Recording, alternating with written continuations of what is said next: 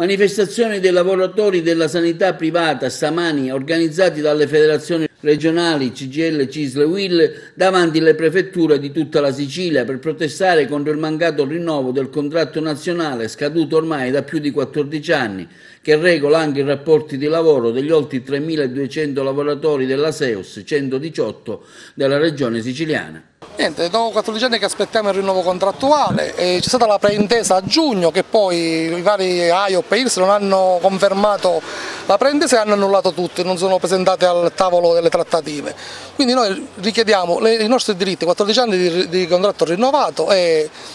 quello che ci, che ci spetta, perché c'è una differenza tra sanità pubblica e sanità privata, mentre i, i, i colleghi lavorano, lavorano, allo stesso modo sia al pubblico che al privato. E sostanzialmente cosa chiedete? Fattivamente cosa chiedete? Quello che loro hanno fatto la preintesa, la firma del contratto, l'aumento contrattuale, già c'è stato il, contratto, il precontratto, solo che loro non hanno rispettato il momento della, della firma finale. Dell'attuazione, dell della preintesa e stiamo attendendo da anni, da 14 anni come diceva Massimiliano, eh, questo rinnovo che dovrebbe essere diciamo, il proseguo di una preintesa che c'è stata qualche mese fa, ma attualmente non abbiamo nulla in mano. Semplicemente questo, lo stiamo chiedendo. Da Seus non arrivano risposte? Da Seus non arrivano risposte perché fondamentalmente il contratto con cui noi facciamo riferimento è un contratto di sanità privata e quindi attendiamo eh, l'attuazione di questo contratto di cui è stato già rinnovato AIOP con cui dovremmo in qualche modo migliorare la nostra situazione, la nostra situazione non solo quindi economica ma anche da un punto di vista professionale. Ricordiamo il vostro lavoro, magari al di fuori di una sigla che molti non conoscono, cosa fate voi fattivamente? Autista soccorritore al 118 di Agrigento, ma in tutta la Sicilia il 118 svolge emergenza urgenza sul territorio. Quindi dico non c'è differenza tra un operatore sanitario del pubblico o del privato, tutti gli stessi abbiamo gli stessi rischi e le stesse cose che giornalmente diciamo, ci hanno preso per eroi del Covid e poi l'hanno dimenticato dopo il cessato emergenza Covid. Esatto. Quindi siamo qua nella nell'attesa che ci venga riconosciuto il nostro diritto che non chiediamo nient'altro. Praticamente noi ci rivolgiamo ai rappresentanti delle associazioni AIOP e ARIS in quanto eh, loro nonostante tre anni di duro e complicato eh, lavoro e di trattative eh, all'ultimo quando proprio era arrivato il momento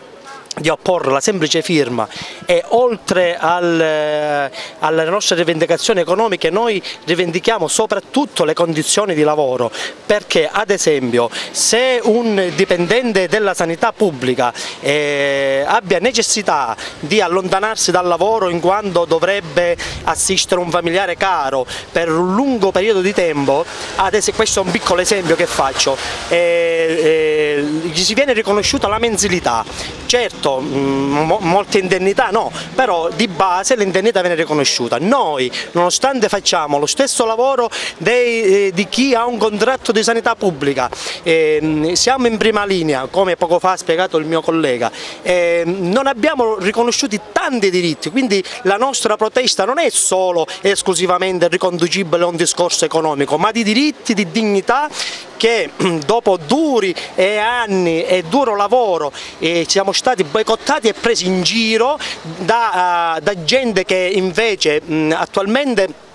percepisce soldi pubblici perché la sanità privata è pagata dalla, dalla, eh, da, con soldi pubblici, con, eh, con, versamenti pubblici che le regioni mensilmente eh, eh versano nelle loro casse e che eh, mh, dovrebbero mh, fare un lavoro di tipo imprenditoriale e che